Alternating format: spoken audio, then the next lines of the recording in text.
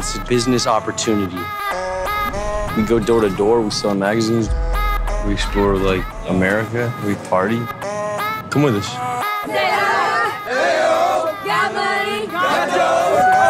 Got anybody who's gonna miss you? Not really. Okay, good. You're hired. Sasha, this uh, road trip movie kind of has a twist because it seems like everyone who gets in the van is trying to run from something. What do you think your character was hoping to get when she climbed into the van? I think she was trying to find a world outside of the one that she grew up in. You know, it's like, is this all life is, or can I get something different? And So, looking for a little bit of that grass on the other side of the fence? yeah, definitely. And do you think Star found that? I think she found, not necessarily found it, but I think she got this understanding of you. Your life can be different. You know, there could there is more than what you've mm. known. And we just spoke to your director, Mm-hmm. and she was saying that she actually crammed you all into a van and, and, and got you to drive. What was that experience like? it was it was fun and it was um I I love that. That's you know what I'd love to do is just kind of be in a van and going and so it was definitely uh quite the experience. now, you, Riley, didn't have that experience because you were being chauffeured in a pretty Mustang. uh, Mustang, yeah, by Shia LaBeouf. Explain why your character had that special spot in the show. Um, because she's the boss of the she's the boss of the magazine crew, so she has her own car she drives. And she is one serious boss. I was saying before we rolled tape, I was a little nervous that if I asked the wrong question, that character might come out and summon me. Nah, she's she's gone. Krystal died two months ago. Thank God. yeah, how how emotionally tolling was that on you know hard on you to to play because she was rough. yeah, it was really hard. Like honestly, listening to that song just now makes me well up because it was just so emotional that whole thing for us all. Um, This whole idea of like uh, experienced actors, actors that are doing it for the first time. What was that like together? I th- I mean, you see, you can see it. You know, it's beautiful. I think. What do you think? Uh, uh, it was beautiful to watch. I'm just wondering, was there like a big sister, little sister kind of experience happening? Um, I think that. Uh, no, I don't think it was big sister, little sister. I think now it is. Uh, yeah, now I Um, think then it was definitely like a here go some people. Let's put us all together and like create this thing, you know. So there wasn't this here go the actors and here go the non-actors. It was like, yo, Riley, hey, Okay, yeah, we're yeah. making a movie. Yeah, there wasn't there wasn't like a non-actors actors thing at all. Mm-hmm. Like, if anyone were odd man out, it was Shia and I, you know, because but we which you know, no one was an odd man out because it was a, a very tight group. But like, Right.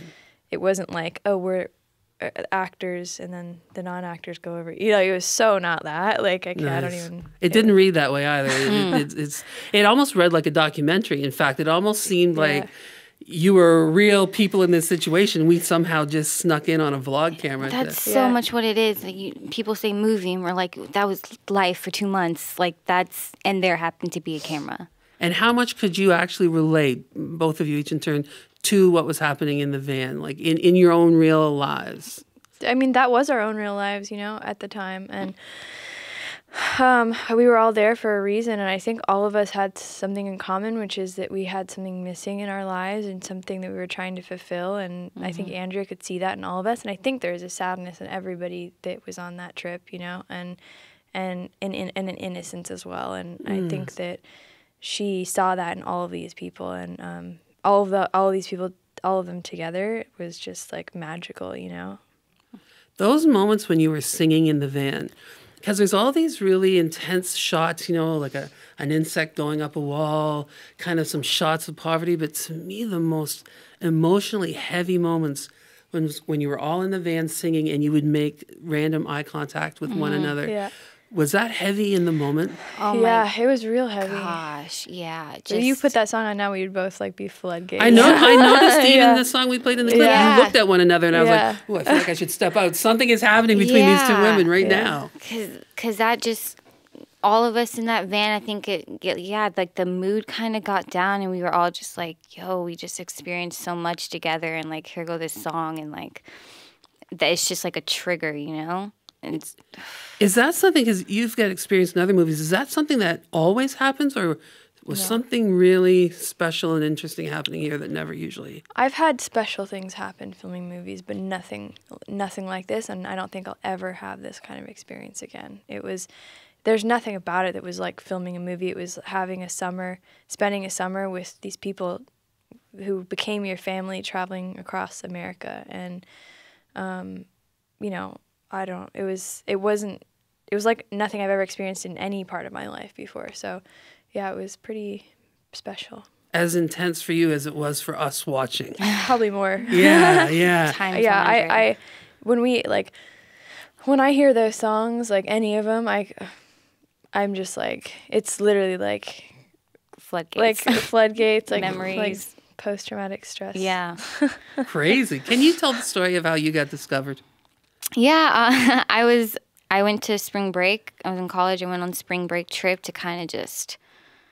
I just had to breathe for a minute, and you know, here comes Andrea just talking to me and just saying, talking about this movie. And what really stuck out was people have told me, obviously, like, okay, like you're beautiful or this is this, but I've also heard so much. There wasn't a lot of people don't have a lot of hope in me as far as how I looked and how I acted and how I thought. And Andrea was, Andrea and Amy were like the main ones who were like, Sasha, you, we want you for this role because you are who you are, and we think that's so beautiful. Exactly, and like we I said earlier, there's nothing more shocking than someone being able to look at you and understand you 100%. Exactly. Mm. And I think Andrea had that with all of us. you Yeah. know? I felt so whole. Like towards the end of that week that I hung out with her, as she was kind of like casting me in a way, I just felt really whole and I felt really like, wow, like you can just like star, like there can be a different life for you, you know? This mm. people can see this and you have stuck to who you were for a reason and you held on for a reason and this is it.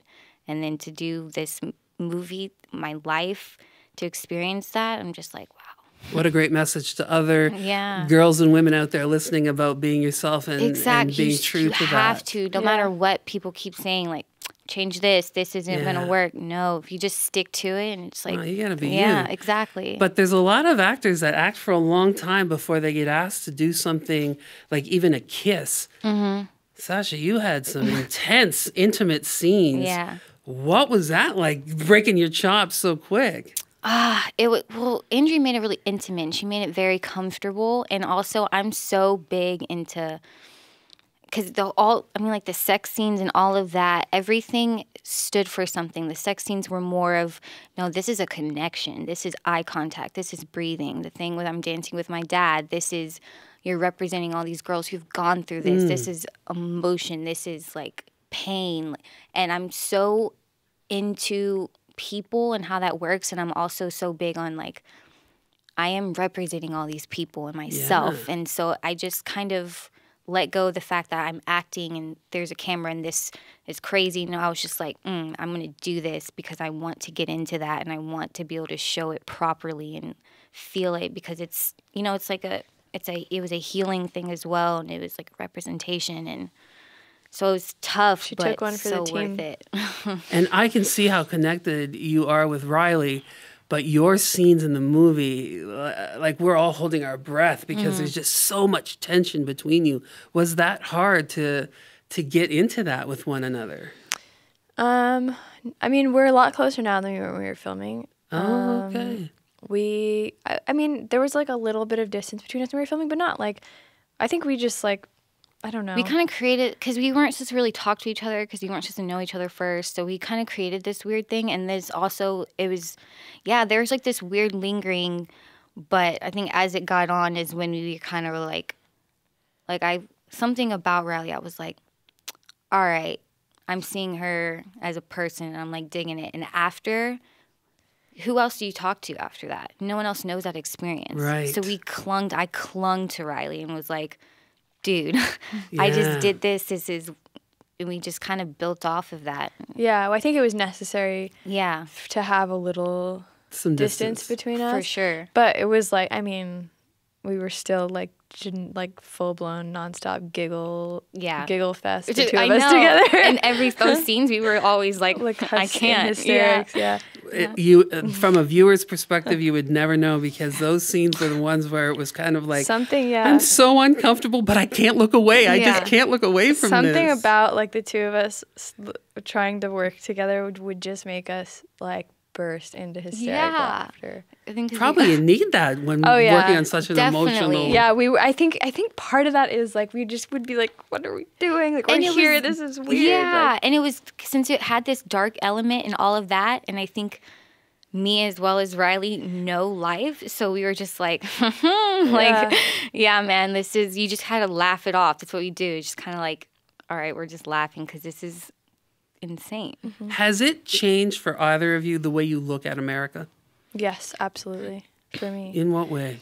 Um. n- Well, uh, no, it hasn't changed the way I look Yeah. at it, but it's. So that was the wrong answer. It's it's made me. I don't know. It's it's made me realize that people don't know this world because I I've like I don't know hung out with all kinds of people, but Right. when you refer to things that I don't know, it's made me realize that people are like completely shocked by it. You know, like, wow, that's Yeah. crazy. I'm like, that's not crazy. That's this country, you know? Right. So it's made me realize how how um, much ignorant people are to poverty Yes. and to um, sort of lower classes and and our youth, you know, and it's a whole it's especially you know For me, I was like, no, this is um, this is America. This is what it is.